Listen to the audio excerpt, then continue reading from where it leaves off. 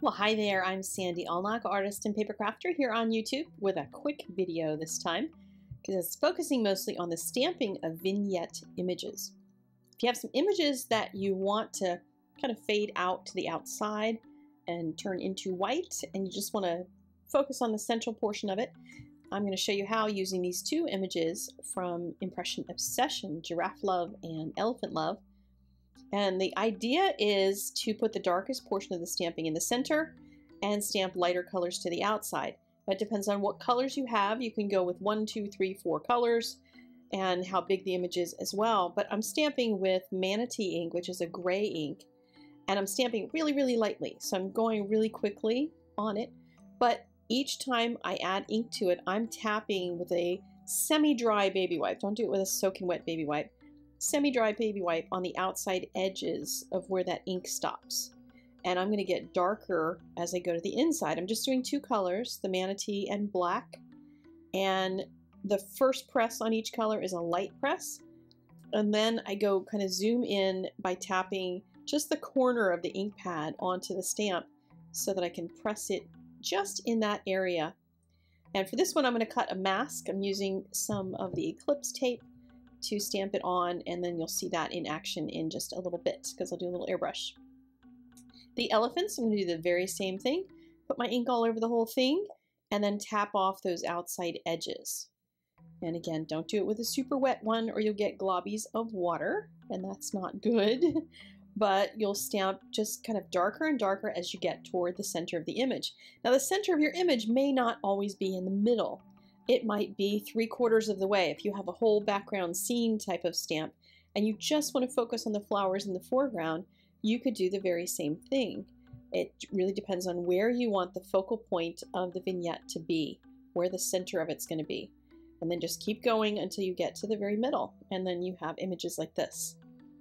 The giraffes, I told you I was cutting a mask out because I wanted to throw a little tiny bit of airbrush over it so I'm just putting it in my Copic airbrush gun and then spraying just a very light coating of color. You could do this with distress inks or something as well. Just do it really, really light. And here I'm just putting a little halo of blue around the elephants. Wasn't sure if I would need that or not. But when it comes to the coloring of an image like this, you'll start with coloring kind of your full strength colors in that same area where you had the black ink, the darkest ink and I'll just keep kind of adding colors as I go because I don't want to get too dark too fast and not know where to stop. But I'm going to just keep centering the darkest areas on the inside. So it's not like shading necessarily. You're not worried about where the light's coming from. You're worried about where you're pulling the eye, the focus of the eye into. And if you want it in the center of the image, like here where the two heads meet, then put your darkest colors in there. So even the spots, I'm going to use those to communicate some of that vignette by having darker colors here in the middle. And then as I get to the outside edges, I'm going to use lighter and lighter colors so that that coloring fades out just like the stamped ink will fade out and just slowly work its way to the outside of the vignette image. So see how that, that lighter shade starts to work? And in this case, I'm not even worrying about blending them from one to another. I can just jump to the next row of spots and just continue to lighten them up as I get to the outside edges. And once I'm kind of happy with the outside edges, then I can go in and really darken the centers, pick some nice rich colors to really pull the eye in. And on the finished card, this is going to have a really good effect to, to just draw the eye right to that very center little spot where the, the best of the hugging is going on with the little giraffes. And I left the card really clean and simple otherwise, just a simple sentiment. And uh, pop that layer on another piece of cardstock for my card base. So the elephants I'm going to put a little, I, I didn't want them just to be gray because that could be kind of boring. So I'm going to undercoat it with some B60. It's kind of a, a light pale bluish purplish color and it will just start to give some shape to the whole thing. And I, I wanted to start with a light color because I wanted to make sure I reserved those tusks. I don't want the tusks to get colored, so coloring it with a light color first while I'm thinking keeps me from later on covering it up by accident because I don't want to do that.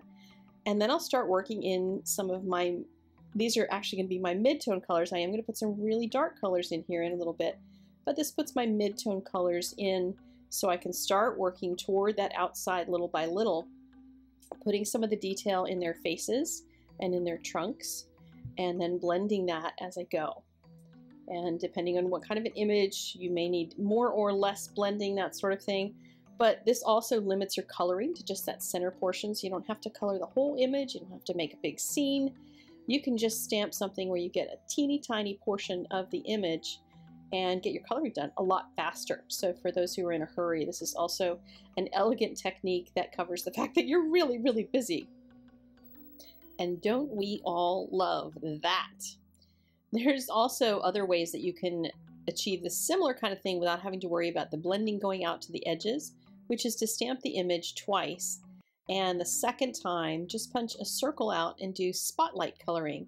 Color that circle shape and not the whole image, and then put it on some dimensional adhesive and just place it over top. So if I were to color just their faces punched out of a circle shape and glue it right over top, then I could leave the rest of the image blank and let that center part be colored. But I kind of like the idea of just letting it slowly blend out. It's also a great exercise for me in trying to get my colors to blend out to white at the outside edge, just using lighter and lighter colors till it gets out to that very, very outside. And with both of these, I love that they could be clean and simple cards otherwise because the coloring just really draws you in, pulls you into the image. And here I used a larger die, since of course the image is larger, uh, versus the other one where I used a smaller die for that central panel. But both of them are really clean and simple still otherwise which I think is really pretty because a lot of my stuff is over the top, so it's nice to see them simple. So here's a reminder of that other one that had more of a white border on it. So you can choose what kind of look you want and choose your image size based on that. Thank you so much for joining me for this video. If you liked it, click that like button. As always, you can find the pinnable images over on the blog, etc. And I will see you guys again next time. Go make something beautiful and send it to somebody else. Have a great day.